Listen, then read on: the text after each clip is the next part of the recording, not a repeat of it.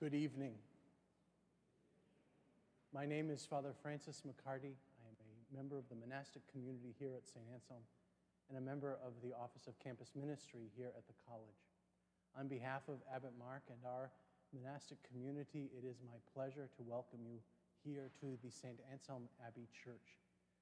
On behalf of Dr. Joseph Favazza, President of the College, Dr. Susan Gabert, Assistant Dean of Students and Director of Campus Ministry, and Dr. Eric Bermani, Director of the Choir. It is my pleasure to welcome you to our annual DecemberSong Concert. And to many of you, it is my extreme pleasure to welcome you back here in person to the Abbey Church. We are so grateful for your presence with us this evening. We here at St. Anselm do a number of things right. And for me, one of them has always been this week. Advent has begun. And here at St. Anselm, we have a number of very important Christmas traditions that are held dear by our students, faculty, staff, and alumni. This year, because of our changed academic schedule, we took those traditions and took them from doing them over three weeks into just one week. This past Sunday, Davison Hall and the Dining Services Department hosted our annual gingerbread house decorating contest where 400 students duked it out for bragging rights and cold hard cash.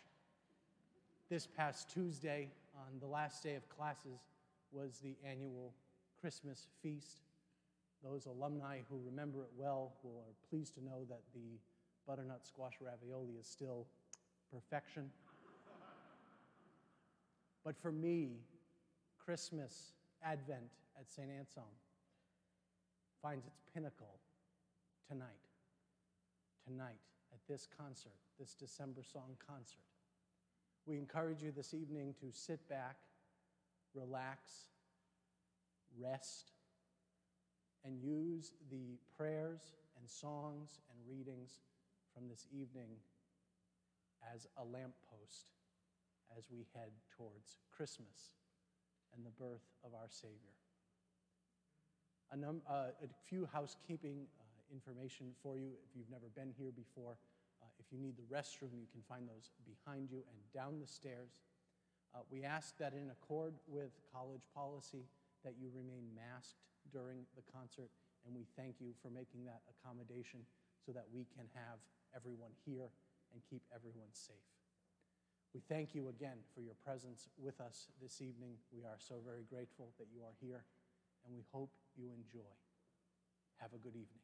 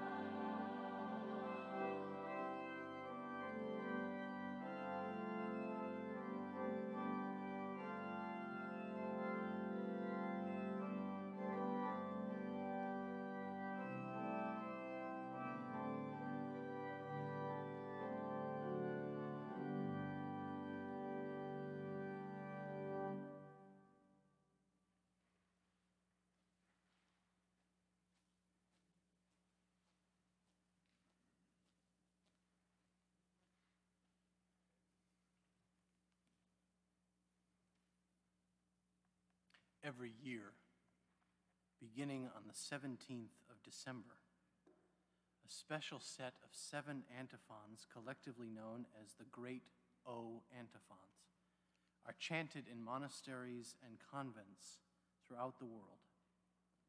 Each verse begins with O and invokes the Lord using poetic images. O wisdom, O Lord God, O Son of David, O Key of David, O blessed light, O King of kings, and O Emmanuel.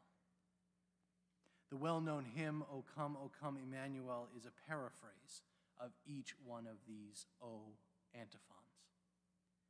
As we sing these invocations, think about what they are asking for and reflect on your own needs, turning them into your personal prayer. One suggestion. As the antiphons end with the words, Emmanuel shall come to you, O Israel, why not mentally replace Israel with your own name? And thereby bring these ancient texts into your own heart and soul, and let them be a part of your life.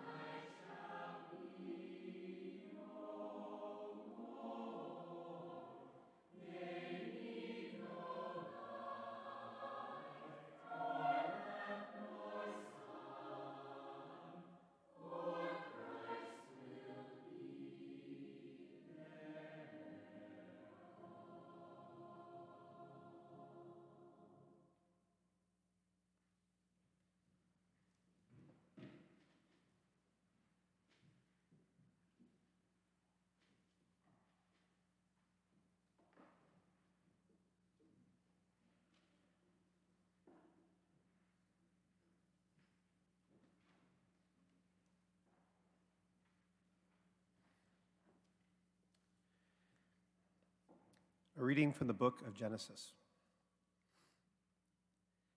Now the serpent was more crafty than other wild animals that the Lord God had made.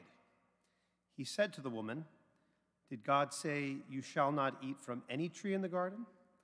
The woman said to the serpent, We may eat of the fruit of the trees in the garden, but God said, You shall not eat of the fruit of the tree that is in the middle of the garden, nor shall you touch it, or you shall die. But the serpent said to the woman, You will not die. For God knows that when you eat of it, your eyes will be opened, and you will be like God, knowing good and evil. So when the woman saw that the tree was good for food, and that it was a delight to the eyes, and that the tree was to be desired to make one wise, she took of its fruit and ate. And she also gave some to her husband who was with her, and he ate. Then the eyes of both were opened, and they knew that they were naked and they sewed fig leaves together and made loincloths for themselves. The man and his wife heard the sound of the Lord God walking in the garden at the time of the evening breeze, and they hid themselves from the presence of the Lord God among the trees of the garden. But the Lord God called to the man and said to him, Where are you? He said, I heard the sound of you in the garden, and I was afraid because I was naked and I hid myself. He said, Who told you that you were naked? Have you eaten from the tree of which I commanded you not to eat? The man said, The woman whom you gave to be with me, she gave me fruit from the tree, and I ate. Then the Lord God said to the woman, What is this that you have done? The woman said, The serpent tricked me, and I ate it. The Lord God said to the serpent, because you have done this, cursed are you among all animals and among all wild creatures. Upon your belly you shall go, and dust shall you eat all the days of your life. I will put enmity between you and the woman, and between your offspring and hers. He will strike your head, and you will strike his heel. The word of the Lord.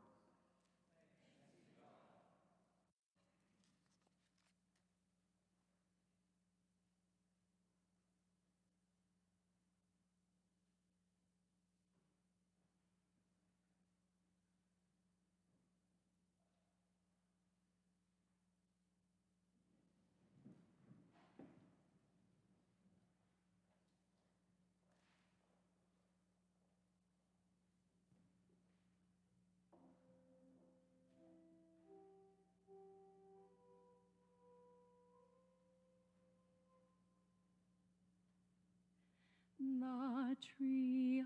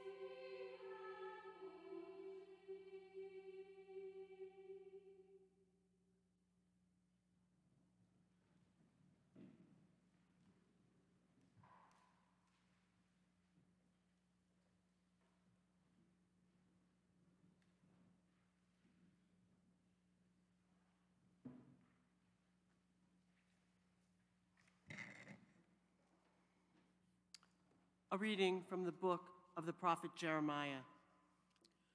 The days are surely coming, says the Lord, when I will raise up for David a righteous branch, and he shall reign as king and deal wisely, and shall execute justice and righteousness in the land. In his days, Judah will be saved, and Israel will live in safety. And this is the name by which he will be called The Lord is our righteousness. The word of the Lord.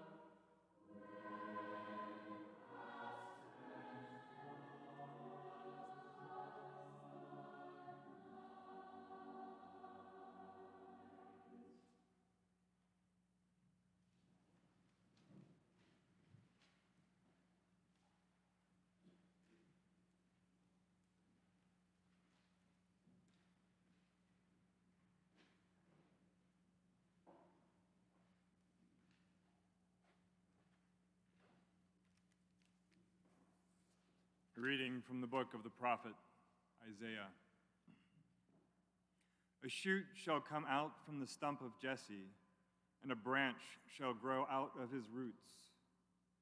The Spirit of the Lord will rest upon him, the Spirit of wisdom and understanding, the Spirit of counsel and might, the Spirit of knowledge and the fear of the Lord.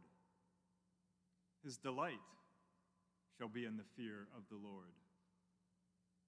He shall not judge by what he sees, nor decide by what his ears hear, but with righteousness he shall judge the poor, and decide with equity for the meek of the earth. He shall strike the earth with the rod of his mouth, and with the breath of his lips he shall kill the wicked. Righteousness shall be the belt around his waist, and faithfulness the belt around his loins. The wolf shall live with the lamb.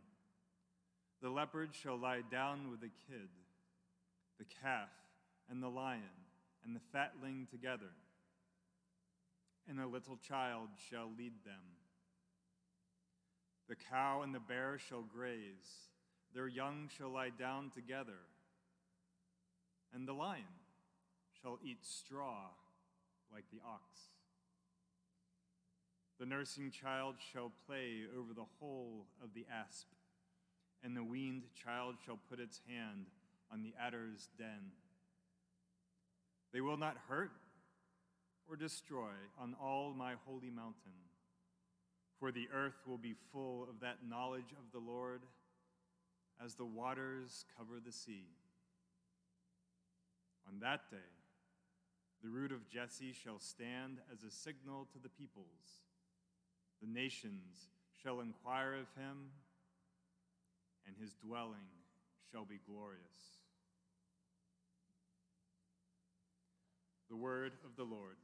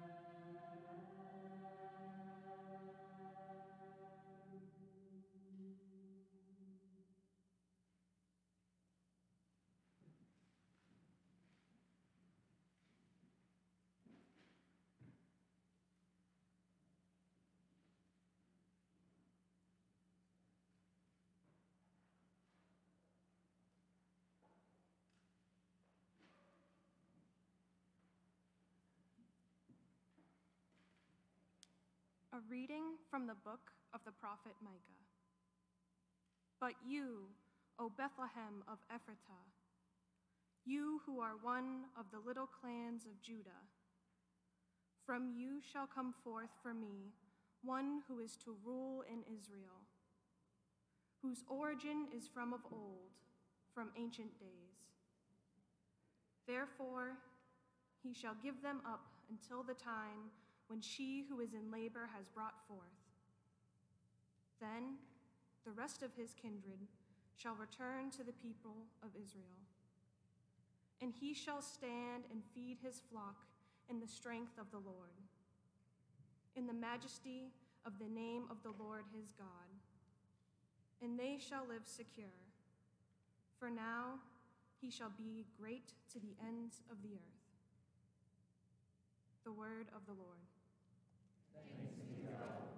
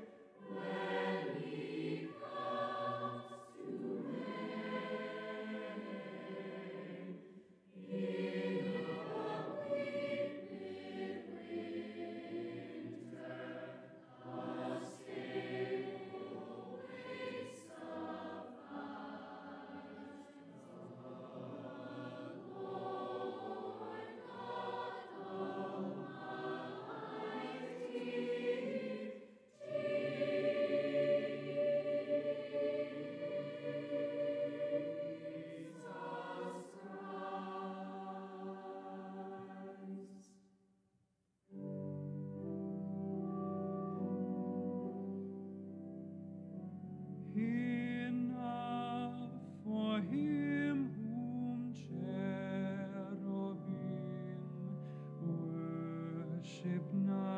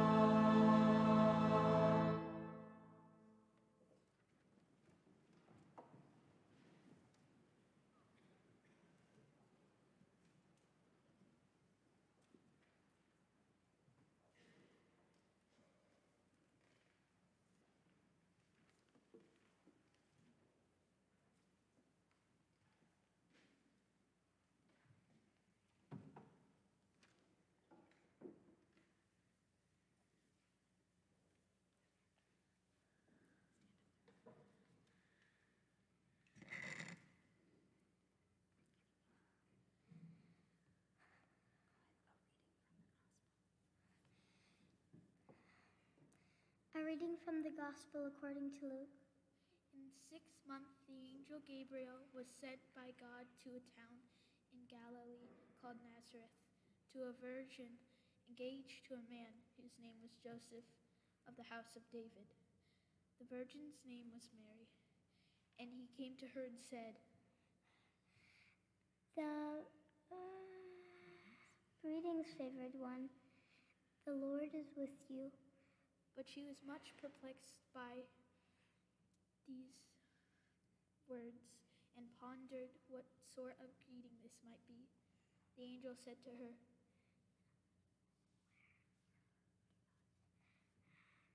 Do not be afraid, Mary, for you have found favor with God, and now you will conceive in your womb and bear a son, and you will name him Jesus.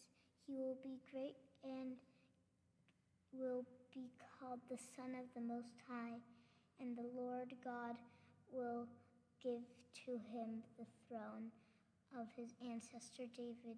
He will reign over the house of Jacob forever, and of his kingdom there will be no end. Mary said to the angel, How can this be, since I am a virgin? Angel said to her,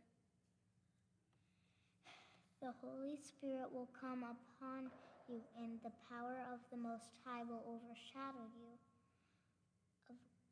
Therefore, the child to be born will be holy. He will be called Son of God. Then Mary said, Here I am, the servant of the Lord. Let it be done with me according to your word. Then the angel departed from her.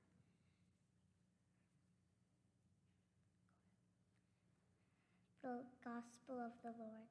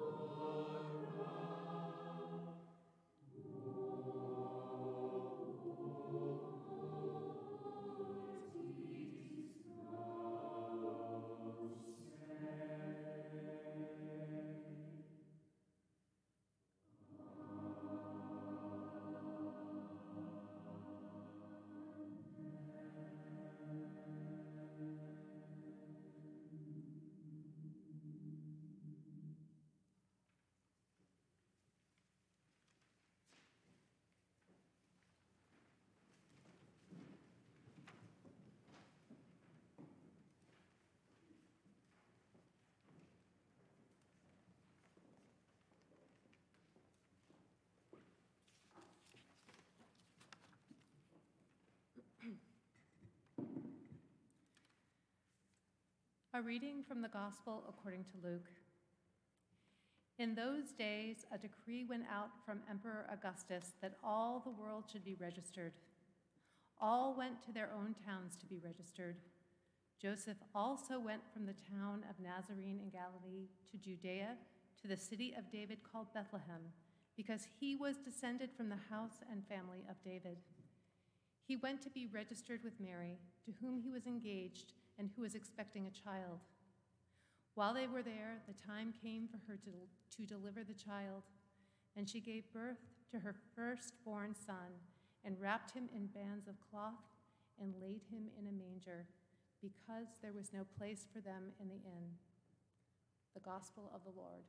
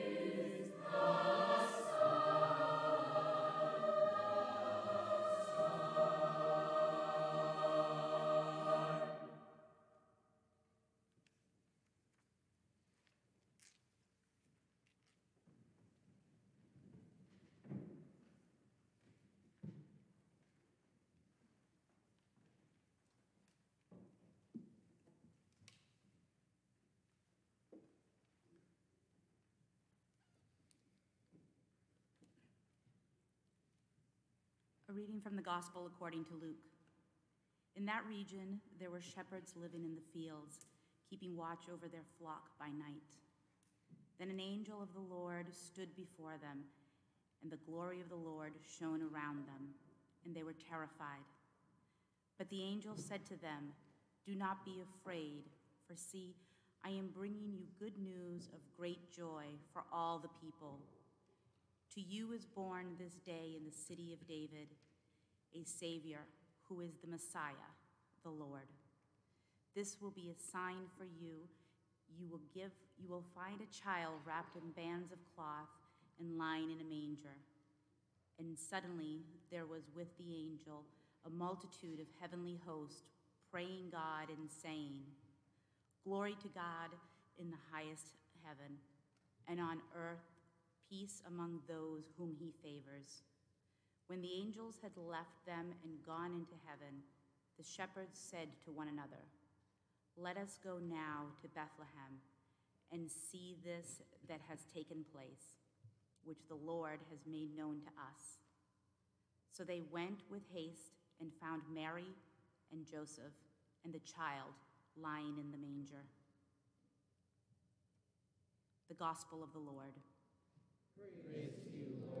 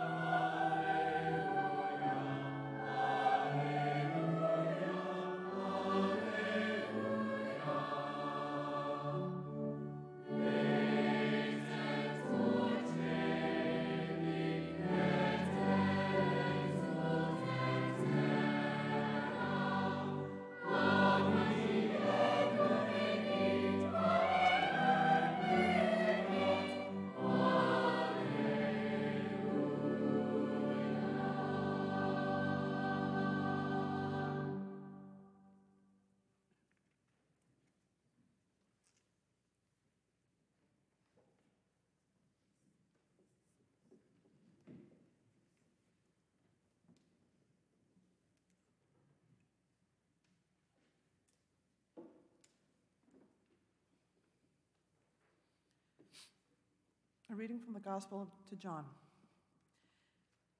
In the beginning was the Word, and the Word was with God, and the Word was God.